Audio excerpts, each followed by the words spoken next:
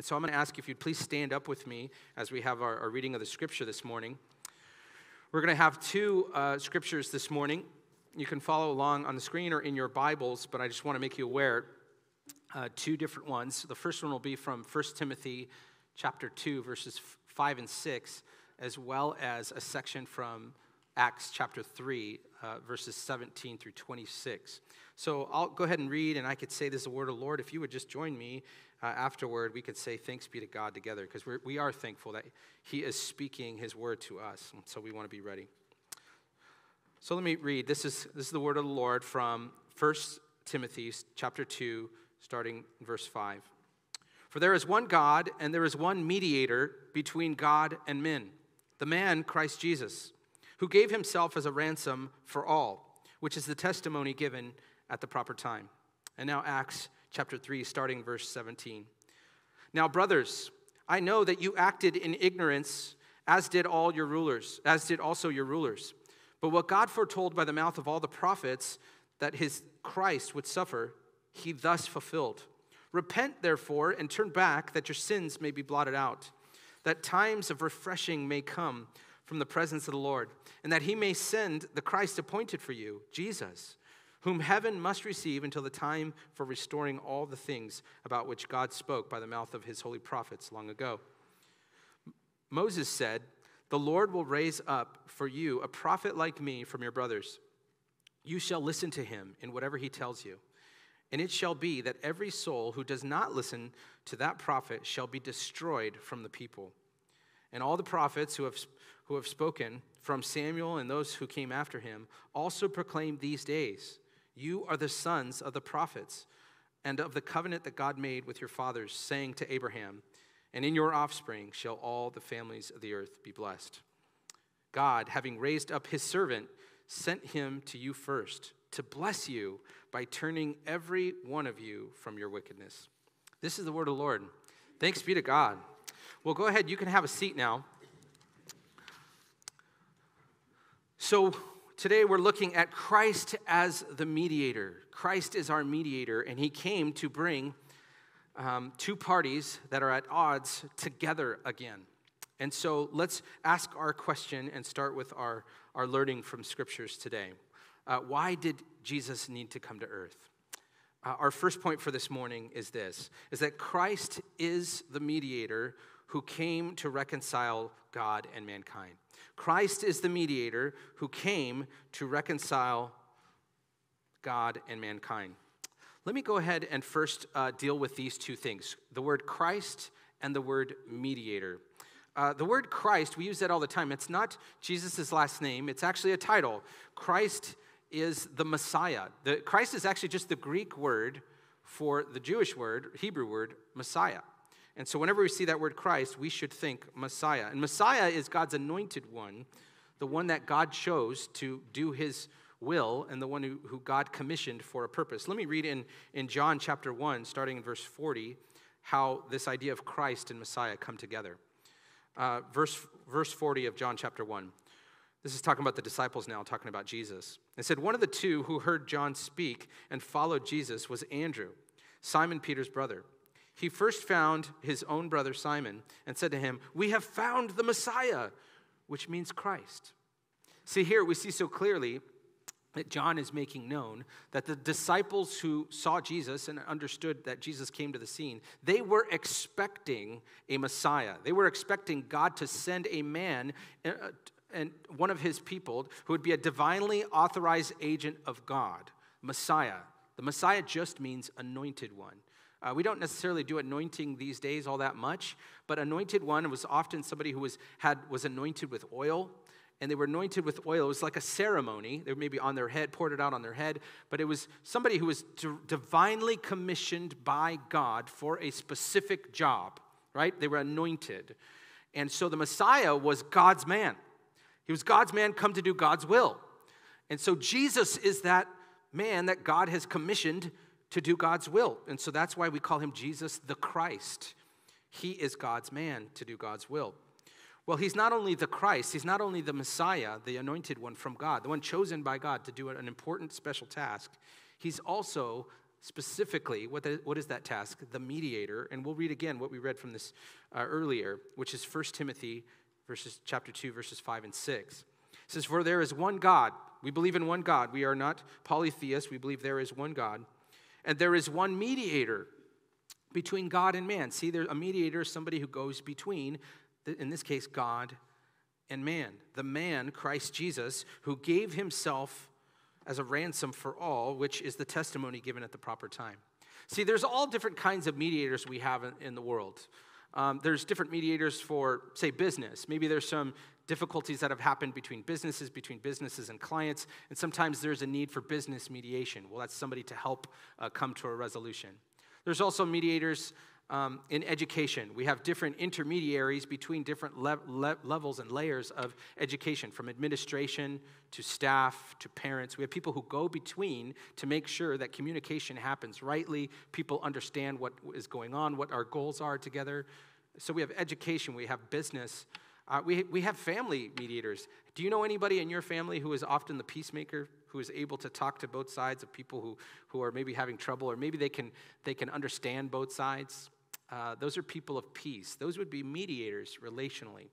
Well, the difference between those type of mediators and Christ is that all of those mediators are horizontal. All of those mediators are between people and people. And at its essence, those, those levels of horizontal mediation, they can only get you so much peace, right? Because when we're dealing with each other, and we're dealing, we, we only have the enough ability to have as much peace as the groups in the, involved will let you have peace. Well, Jesus is a different kind of mediator. He's a mediator between us and God. I mean, we, we think about this for a sec. We need a mediator between us and God. Why? Because we are not like God. In the equation, in terms of power and knowledge and, and every part, I mean, there's, there's nothing. If you stack God versus humans, there is no comparison. In fact, how is it even possible that humans can be in some sort of relationship with God? It's only because He condescended from on high to stoop down to us, to be able to know us, to, to show us, to speak to us, to, to love us, to have us know anything. We are on the receiving end of this relationship.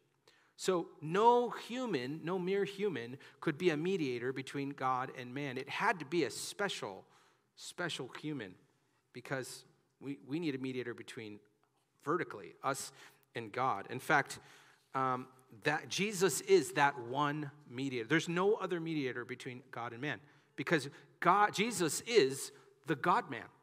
Jesus is the one who could go between both God and man. He's not merely a man. In fact, he needed to be both God and man. And think about this God set it up that he would send his son to be a God man. Okay, humanly speaking, I don't think any of us, in fact, the Jews and nobody else, nobody thought that up. Nobody could have come up with that plan.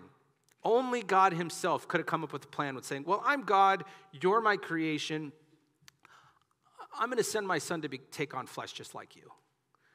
That was, I mean, that was actually in some ways blas, blasphemous in some ways to be able to put God down on our level. In fact, this is one of the truths why uh, uh, Islam does not believe in Christianity because they think it's blasphemy that God could have a son.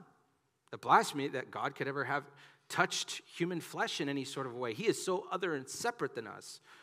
But no, God chose from eternity past that he would send his son, the second person of the Trinity, to be a mediator between God and man. It's a wonderful thing. Praise the Lord for that. Let me read um, in John, verse 1, 1 and 2, and then 14. We read it earlier, uh, parts of it. So let me read that. In the beginning was the Word, and that Word is, is Jesus.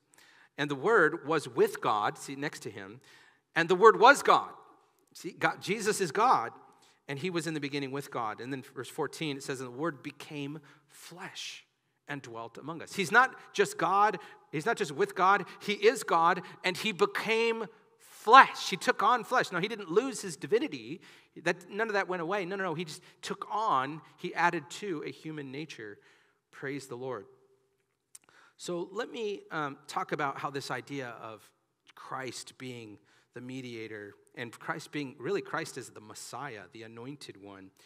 Um, there are different offices, is what we'll call different jobs or functions that uh, messiahs could, could take. One of them is the office of a prophet. Let me show in first in Psalm 105 uh, how anointed ones were connected to prophets. So in Psalm 105, starting verse 14, this is God speaking about uh, God speaking here, or about God. It says, He allowed no one to oppress them. God allowed no one to oppress His people um, at, at certain times. It says, He rebuked kings on their account, saying, Touch not my anointed ones. There's that word for Messiah. Touch not my anointed ones. Do my prophets no harm. And this is Hebrew poetry, so we're talking about anointed ones, is the same thing as prophets. So we're seeing here, God has anointed ones. Those are specially commissioned people for a task from God. Well, what was one of those tasks? To be a prophet. So let's talk about exactly what is a prophet. Exactly what is a prophet. Some of you may just know this uh, intuitively, but let me just say it um, quickly here. It's that a prophet is a human agent chosen by God to receive and declare God's message as given by the Holy Spirit a, a, human agent chosen by God to receive. This is what makes a prophet a prophet. They, God chooses them and they receive the word of the Lord. Right? God speaks to his chosen prophets. And it's then those prophets who receive God's word and then they give God's word. They are an agent of revelation. They are an agent by revealing God's will to, to the people. In fact, God used prophets throughout all the Old Testament.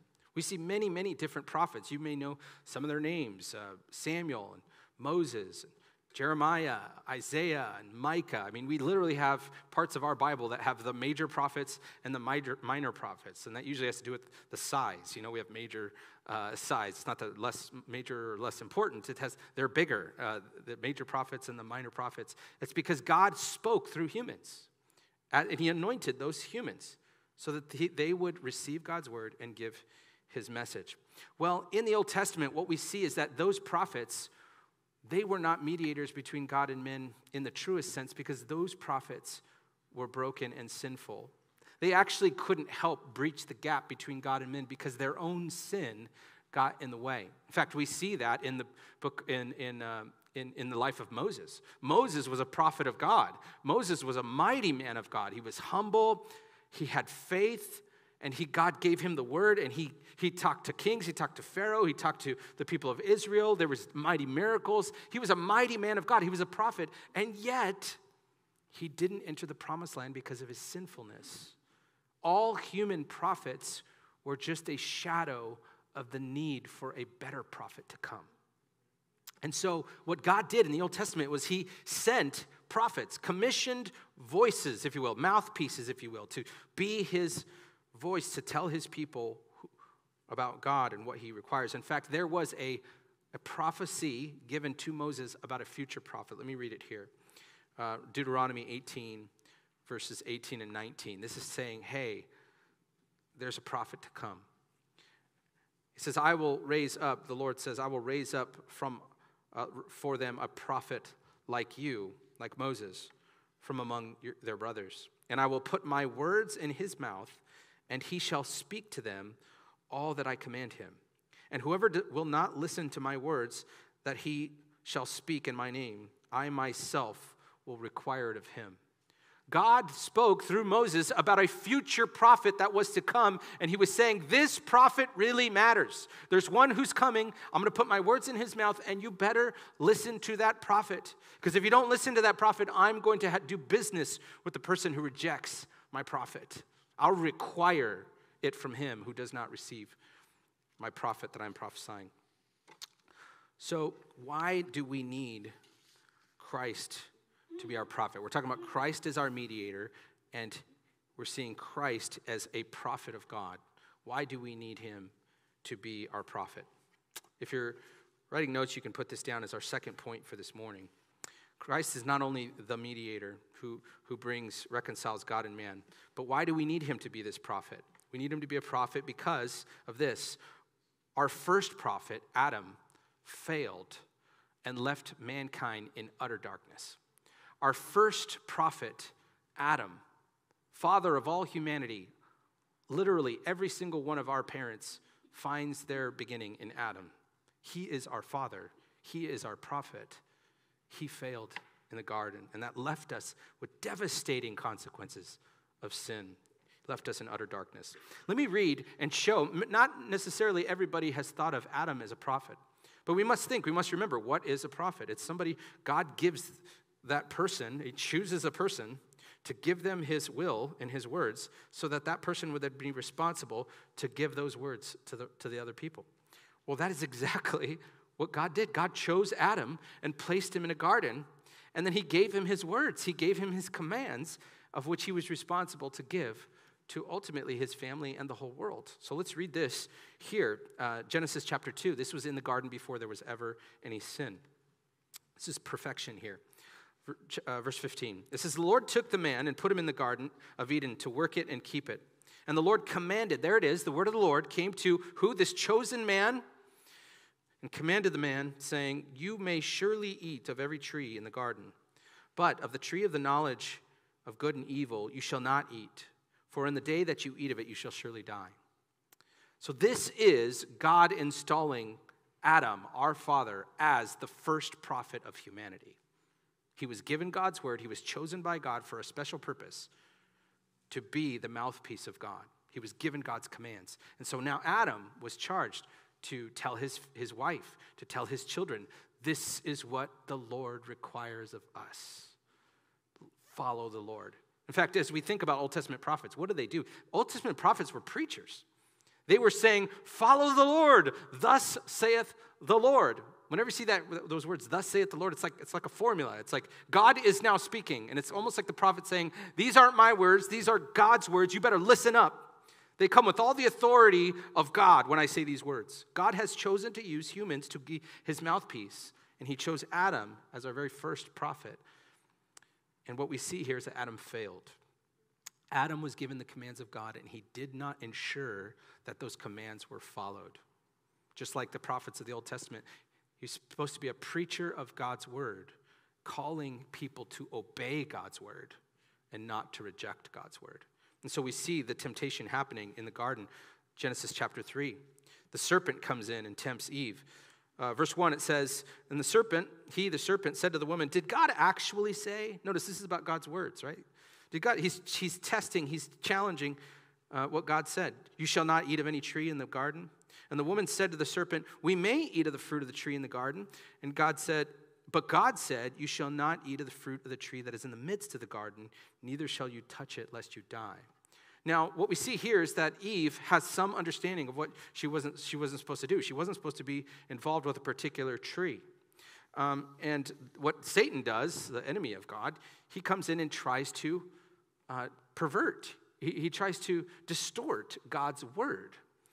Um, well, what we see is uh, uh Eve, Adam's wife, she knows the commands of God. Okay, good job, Adam. She knows. Because remember, God told Adam these words. Eve wasn't even alive yet during this time.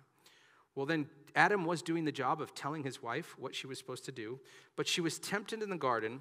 And let's see how actually Adam starts off well, but then fails by not protecting God's word, by protecting his wife.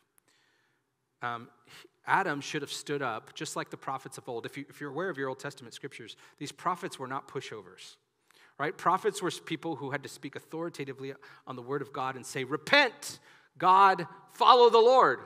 Well, this was a point in which Adam should have said, Serpent, get out of here. Don't tell my wife, don't tempt my wife. We follow the Lord.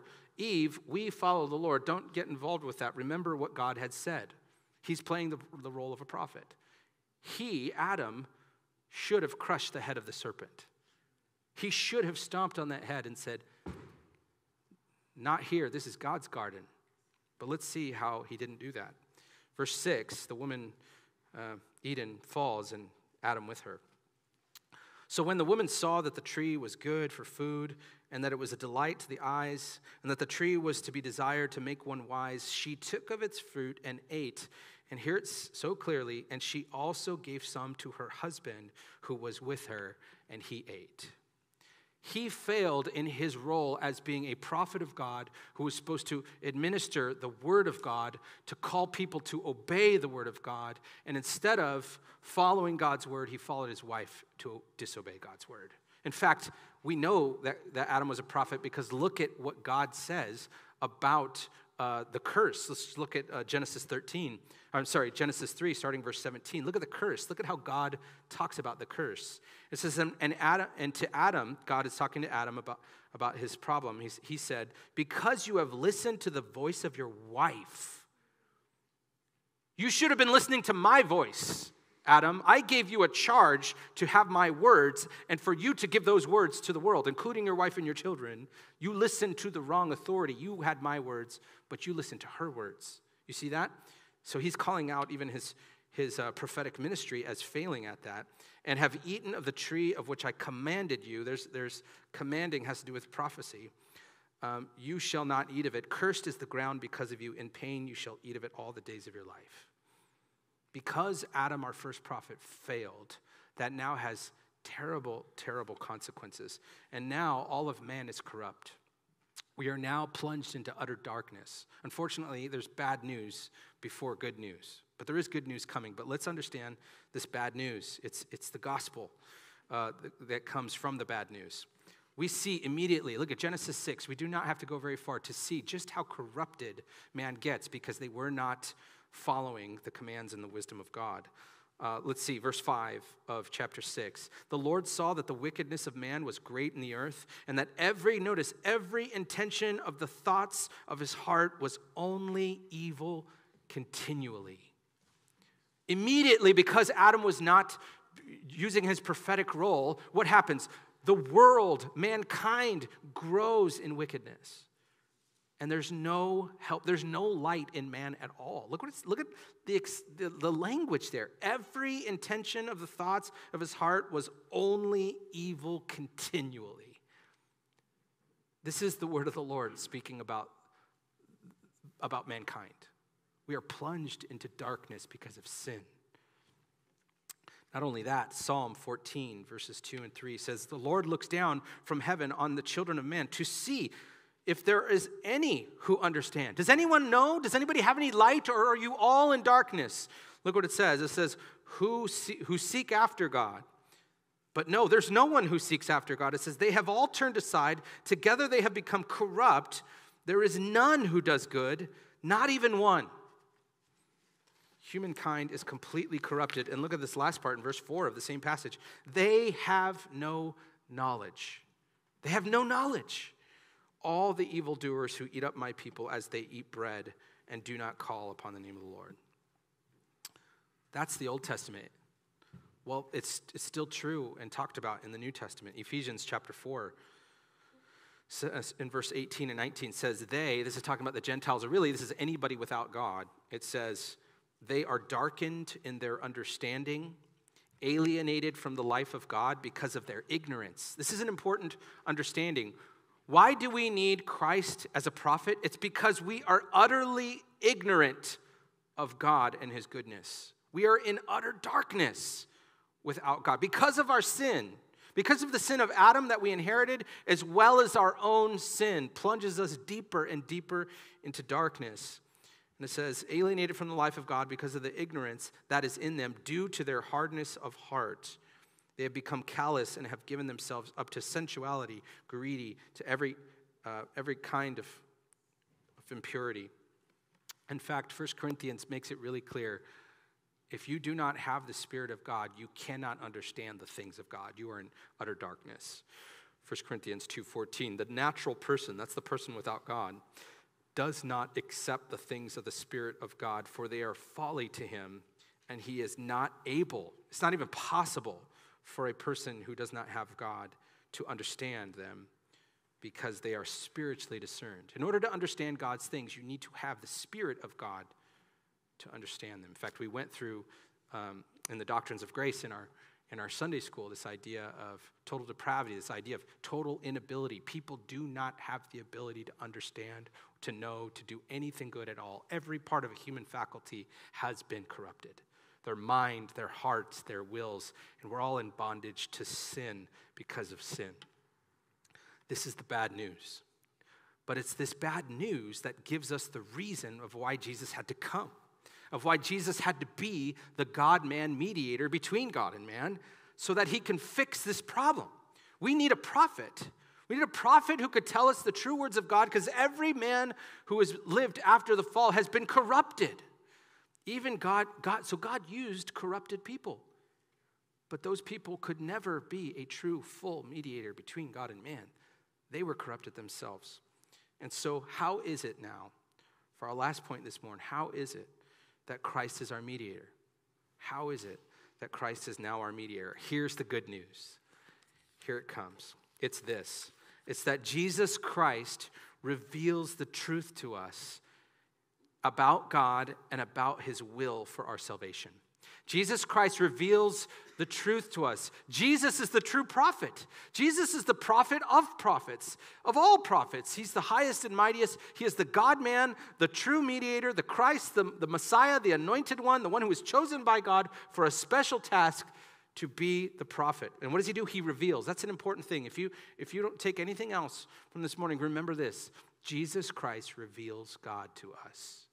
Jesus Christ reveals God to us, and he reveals God's salvation for us. We need Jesus to reveal God and his salvation. So let's read some of that. In fact, I'll use the Westminster Shorter Catechism. Uh, we've been using lots of catechisms. Here's one from the Westminster Shorter, 1646. Question 24 asks, the, asks it this way How does Christ carry out the office of a prophet? Here's the answer Christ carries out the office of a prophet in revealing to his people, notice, by his word and the Spirit, the will of God for our salvation. Christ carries out the office of a prophet in revealing to his people by his word and spirit the will of God for our salvation. So here's important things. Let's see how the scripture talks about Christ being the revelation of God and how God uses Christ as an agent of revelation. Notice in Hebrews chapter 1, verse 1 and on. It says, Long ago, at many times and in many ways, God spoke to our fathers by the prophets, right? That's what we've been talking about. But now, but in but in these last days, notice that there's a shift, there's a contrast. Long ago, many ways, God spoke to us through the prophets. But now, what is he going to say? But now, in these last days, he has spoken to us by his Son. Jesus Christ is God speaking to us. He's literally called the Word. And so it says, whom he appointed the heir of all things, through whom he also created the world. Jesus is the revelation of God.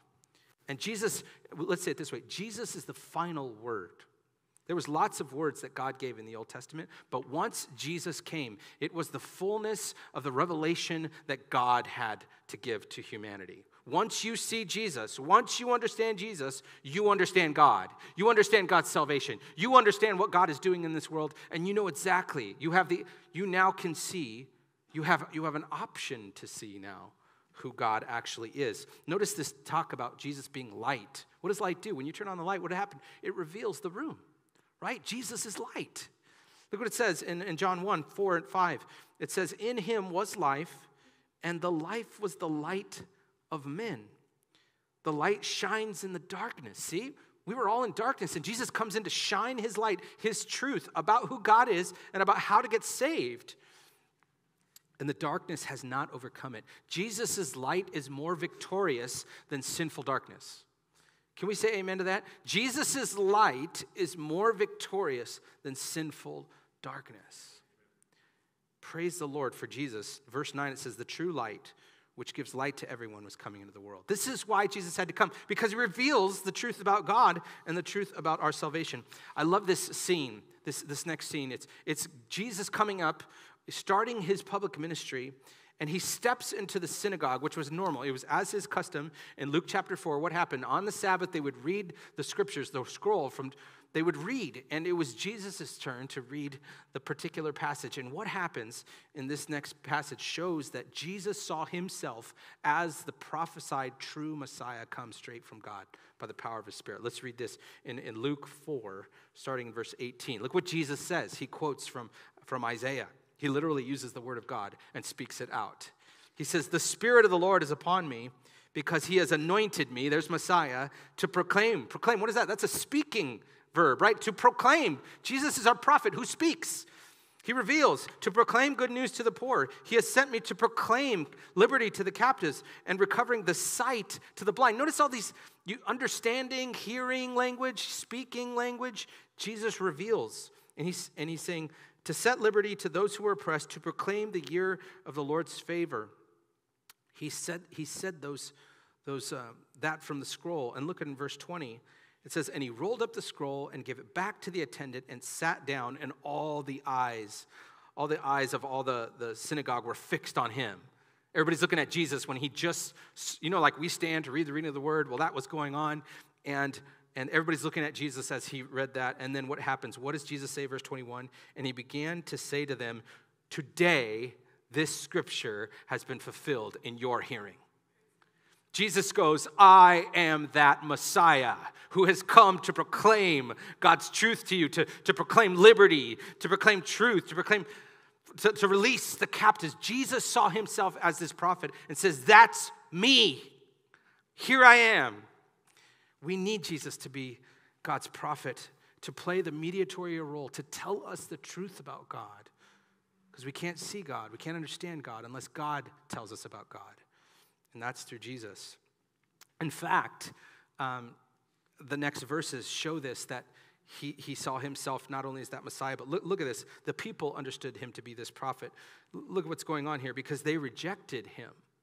In fact, in fact, verse 23 says, And he said to them, Doubtless you will quote to me this proverb, meaning Jesus is already anticipating what people are going to say about this. He said, You're going to quote to me this proverb Physician, heal yourself. Meaning, like, hey, if you're, you're all mighty and powerful, then do something, do, like, help yourself out, Mr. Mighty Guy. And then he says, What you have heard, you did it at Capernaum, do it here in your hometown as well. Jesus was rejected in his hometown. He did miracles, he did preaching, but in his hometown, he was rejected. And in verse 24, look what Jesus says. And he said, Truly, truly, I say to you, no prophet is acceptable in his hometown. Jesus understood himself to be that rejected prophet from his hometown. It's like, look, I, it's like it's true, isn't it true? If you know somebody, you're familiar with them, you grow up with them, they go up to, they go on to be some major person, and their hometown people go, yeah, he's not a big deal. We know him. Well, that was true even for Jesus. He understood himself to be the rejected prophet of his hometown. But praise the Lord that he is the one, the true, the prophesied prophet that was to come from God. And so there's a couple things that Jesus does. When he prophesies, when he essentially preaches, when he preaches, he does two things.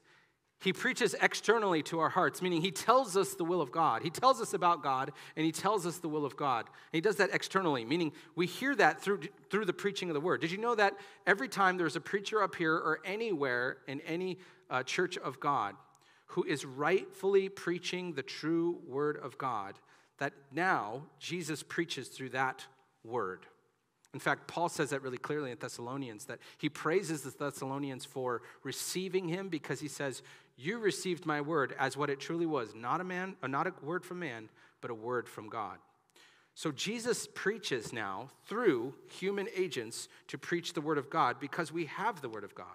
And whenever we have the word of God, Whenever that is rightly preached and taught and exhorted and warned, that is Jesus himself preaching through that externally, through, through the, the hearing of my voice, through the hearing of any preacher's voice, faithful preacher. That is Jesus doing that. He did that while he was on earth. He preached, but now he does that through the, the working of the Holy Spirit. There's an external preaching, but there's also an internal preaching. And what that means is he uses the Holy Spirit to help open up our hearts and our minds. He uses an internal Holy ministry of the Holy Spirit to preach to us. So let me show you how this is true. Because after Jesus resurrected, look what, look what he says and look what he does um, in, in Luke 24 about opening up people's eyes to understand who God is and salvation. Uh, Luke 24, verse 44. It says, Then he said to them, These are my words that I spoke to you while I was still with you, that everything written about me in the law of Moses and the prophets and the Psalms, that's the whole Old Testament, that everything written in me about eh, all the things that are written about me in all of the Old Testament must be fulfilled. It says, then he opened their eye, their minds to understand the scriptures. Jesus preaches to us through the preaching of the word, but then he uses the ministry of the Holy Spirit to open up our eyes to understand we need God. We need this truth. That's true about me. I'm a sinner in need of a Savior. I need the Spirit. I need grace. I, Lord, I need faith. I don't trust you. I need to trust you. Help me trust you. Well, when the lights go on, it's because Jesus is being our prophet. And He's sending His Holy Spirit to open up our hearts and our minds. Let's just see a few more things about how Jesus reveals God.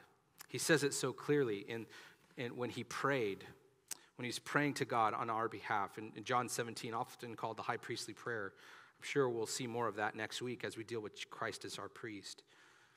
But look what Jesus says about us. He says, O righteous Father, even though the world does not know you, I know you, and these know that you have sent me. These are his disciples. And I made known to them your name. Look what Jesus does. I made known to them your name, Father, and I will continue to make it known that the love with which you have loved me may be in them and I in them. Jesus reveals the Father to us so that we can be loved by the Father. And Jesus also reveals how to do that. It's through salvation, it's through belief in Jesus Christ alone for the forgiveness of our sins that we may have salvation. Look what uh, John chapter 4, verse 41 and 42. It says, And many more believed because of the word. What? Because of the word, because of the preaching. That's what that is. There was words being preached, and people believed because they were preached, they were preached to. And he said to the woman, Oh, this was the, the woman at the well. She went back and she told the word, and the word spread, and everybody kept proclaiming, Christ is Savior, Christ is Savior, He's come. And it says, and he said to the woman, It is no longer because of what you said that we believe, for we have heard for ourselves, and we know that this indeed is the Savior of the world. The Samaritans are going, oh, Their eyes were opened. Their eyes were opened. People shared the testimony of the truth of God's saving work, and Jesus used the preaching, the teaching of that word to open up people's eyes to see He's the Savior. Now, our last word for this morning is this John chapter 20 says, Now Jesus did many other signs in the presence of the disciples, which were not written in this book. There was, it's not possible to have written down everything that Jesus did or said. That these, but these are written so that you may believe that Jesus is the Christ, there it is, Christ the mediator, the Son of God, and that by believing you may have life in his name. Church, we need Christ to be our prophet. We need Christ to be our prophet in teaching us the truth about God. We need to know the truth about ourselves that we're broken and sinful, but we also need to know the good news that he, Jesus did not leave us in that broken, sinful state. No, He came to earth so that He can be in our place. He could, he could live the law, righteous law that we could not follow. And so that He could preach to us and teach to us, tell us about who God is. He says, If you've seen me, you've seen the Father. The disciples say, Jesus, show us the Father. He goes, how long have you been with me? If you've seen me, you've seen the Father. We need to see God the Father, and we see that in the face of Jesus Christ. We need to know, understand our need for salvation. We see that in the preaching and the teaching, and explicitly in belief in Jesus Christ. And so this morning, as we as we consider this Christmas season, may we be so grateful for what Jesus has done. Let me ask you this question Do you love and cherish Jesus for shining his light into our darkness? Do you love him? Do you cherish him? Are you grateful to him? Do you see that you need his light to expose our darkness? That's part of the issue is that we just think too highly of ourselves and we can't rightly see things. We need Jesus to show them. We need the Word of God to expose them. We need to be given the good news that, hey, even though humanity is in utter broken darkness, there is true light available. Believe in Him, receive forgiveness of sin, and have communion with Him in His name. Let's do that. Let's believe Him and receive Him and obey Him. Would you pray with me? Lord Jesus, thank you for being our prophet. Thank you for re- revealing God to us. Thank you for revealing salvation to us. We have no chance. We're in utter darkness without you. But thank you for sending your spirit to open up our hearts, to open up our minds. And to Lord, thank you that you're continuing to speak to us through, through the, the spoken word, through the preached word. Thank you that you, you love us, that you would have your word written down for us to be guarded and protected throughout the ages for 2,000 years, Lord, for more, for 4,000 years. You've had your words protected and guarded for us to hear so that we can know you, So, Lord, this Christmas season, may we, may we focus on your goodness. May we focus on your work. May we focus on how you change everything by shining your light in our darkness. It's for your glory that we sing and we pray. It's in your name. Amen. Amen.